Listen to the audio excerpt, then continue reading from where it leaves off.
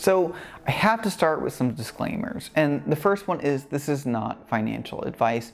And the second is a disclosure. I have $154 in Bitcoin currently. And the reasoning behind that is that I actually mined it on this machine back here.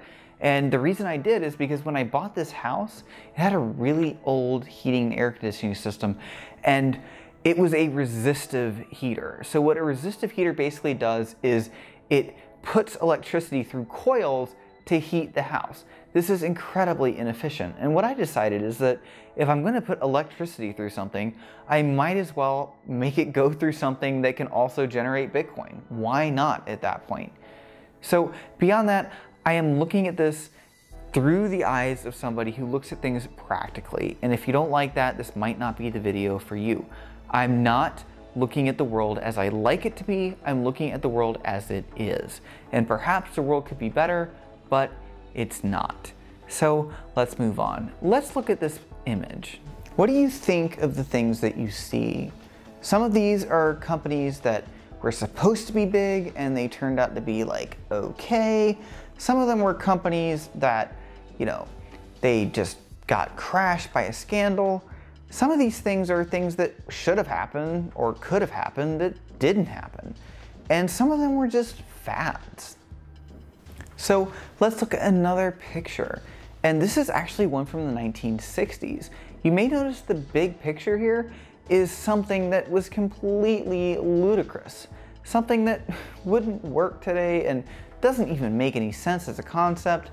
If you go to the bottom right, you see something that we would want. We sort of still do want, but isn't really, you know, set out to become a reality. But if you look in the bottom left, you see something that's actually sort of true. This is sort of how time and ideas work. Now, you may be saying, hey Mark, cryptocurrencies have gone a long way and people widely accept them as good investments. We have entire companies that are willing to set up things around cryptocurrency. This can't be nothing. And I'm not saying it is nothing. I'm saying that it might not go any further than it is. And my first criticism would be this the system of governance. Again, I don't agree with the world we have, I just know the world that we have. And I don't believe that our governments are not going to try to do something with this. It's not like they haven't done something like that before. And seeing a, competing currency with that, uh, that seems like something they would sort of have a problem with. So there's a, you know, kind of a thing about that. There's a, a thing called FedCoin that's coming out now. And I really don't think this is going to be good, but do you really think the alternative is going to be good, which is just a democratized system, which I know is what Bitcoin and other cryptocurrencies are sold on. The idea that people just controlling the money is a good thing sounds really good. But we've had a lot of things that sounded really good in history that weren't really good. And if they turn out to not be really good, hopefully they get squashed. And what I'm worried about with cryptocurrency is let's say we were to move forward with this system and it turns out it really sucks. I mean, direct democracy is an idea of something that was supposed to be really good. Turned out not so much. And I'm worried the same type of thing could happen. Beyond that, what if it turns out into a corporatized type of democracy where companies actually are controlling the money here? I think that might not be good. I don't know how you feel about that, but I've already seen there are companies that are buying up these Bitcoin nodes. And again, Bitcoin is not all that I'm focusing on, but yeah, that might not be good. Beyond that, let's talk about energy use. That honestly, I know this is something that's come up. And I think Tesla brought it up, which brings me back to the idea of corporatization that Bitcoin bought a bunch of this stuff with money that they had said it was great, you're gonna be able to buy Teslas with it, and then all of a sudden they said it sucks. At the same time, they sold a bunch of it, like a pump and dump scheme.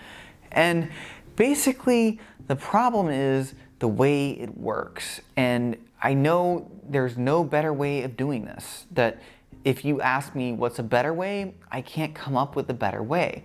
But the way this works is we hash data, basically. And what I mean by hash is we take some data and we convert it to something that you can't recognize. Now, you might think, Mark, that's encryption, but not exactly. Encryption is when you do the same thing, but you can bring it back with a key and, and so on. But with a hashing algorithm, you basically are turning it into an unrecognizable piece of data that can't be duplicated. And you're saying, here, here it is, basically. Now, we do this with passwords, actually. When we uh, store passwords, we hash and salt them, is what it's called. And that means that you take a password and you convert it to something that can't be recognized, that's something that can't be duplicated, and nobody can actually reverse it, at least not easily.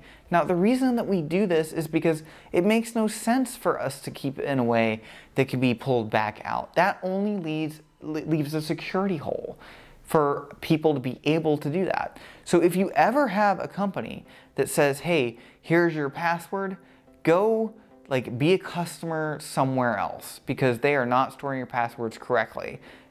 You know, beyond that, moving on, we have these hashes and the way that we sell this stuff, you know, Bitcoin, how do you get Bitcoin is that you use your computer power, like this thing behind me. This is a pretty powerful computer.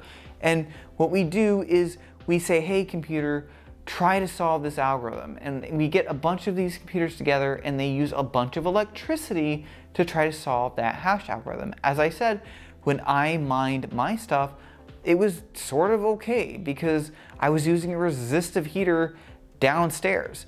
And that was just running electricity through wires in order to give me heat. I might as well mine something while I'm at it. But when it comes to most like people situations, the idea of just burning this computer power, burning this energy to get these hashes solved that do, do you know do nothing for society uh, other than just give you a Bitcoin or whatever coin that you're mining, that's not a great idea. And it's basically that you're you're using fuels, whether they be fossil or whatever that you are using based on where you live, to get something that is a currency. That doesn't sound good to me. And, you know, I hate to say it, but it's the truth. And the thing is, the argument against it is, well, what, how, how else would you sell this to people? How else would you give it out, right? And that is a good question, and I don't have a better answer. But this, you know, this ain't great. Now, the last thing is the biggest one I worry about, which is there's just gonna be a lack of trust in the system. I've talked to a lot of people that are like, why would I put my money in Bitcoin? Like, I don't really trust that. I, I trust, you know, US government money more. I'd rather have it in dollars or in stocks somewhere. I don't really trust this. And one of the problems with Bitcoin is it's not easy to make transactions. See, the way that transactions work is basically the miners, like this machine back here, have to do it. But they're not gonna do it if they can just mine easier. They're gonna just mine. So what you have to do is put up a percentage of your transaction to make that transaction happen. And even then, it doesn't happen at a considerable pace. Now, there are some solutions being worked for this, but it's still not great. And the lack of trust that I could see is how are you gonna get over that? That, that's my question. How are you going to get people to believe that this new cryptocurrency, when there are a ton of them, that's the way to go, right? This is the way we keep our money. Unless you can convince people that, hey, this is what our money should be, is there any point in putting a lot of investment into it? I don't see it. Because if you don't, you're just going to kind of sit at a level that I think that's where we are with cryptocurrency now that it, it's just going to keep like being an investment and something people put money into or don't put money into. It's to go up, it's to drop, but I don't see it as, you know, the same as the stock market where there's actually companies behind it. I'm sorry. And hey, I know this is to get some hate for me. Uh, fine. That that's that's okay with me. I I do have money in cryptocurrency. I have not sold the Bitcoin I mined. I could have done that, uh, but I didn't. I'm gonna hold on to it and see what happens. You know, I'm not saying this is a bad thing to play around with. It's it's not. But if you are thinking you're gonna put your money into Bitcoin or Dogecoin or some new type of coin and that's gonna make you rich, I'm gonna tell you something that you probably don't wanna hear. You're not gonna be rich.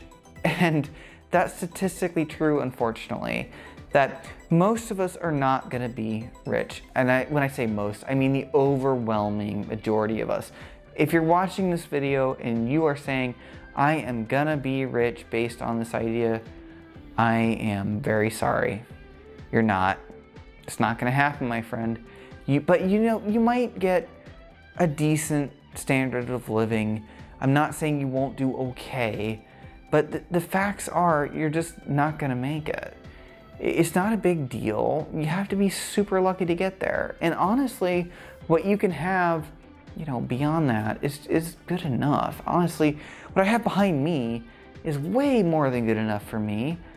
But don't get hooked on these scams because there are a lot of people that are saying, hey, there's, there's this new cryptocurrency and you should buy into it because it's going to make you a lot of money. And they're doing a pump and dump scheme.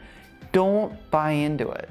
This is not something that you want to fall for because honestly, I think this technology may have peaked. I'm sorry to say that, but I think that's what's going on. Now, I'm not saying don't get into it in any way. If you think it's cool at a technical level, go ahead and do it. Blockchain itself is pretty neat and may have other applications other than just money. And Beyond that, I don't want to dissuade you from getting into new technologies in general because they can be pretty cool. So, okay. Hope you guys like this. I think I'm going to have a lot of people that don't. Have a good night.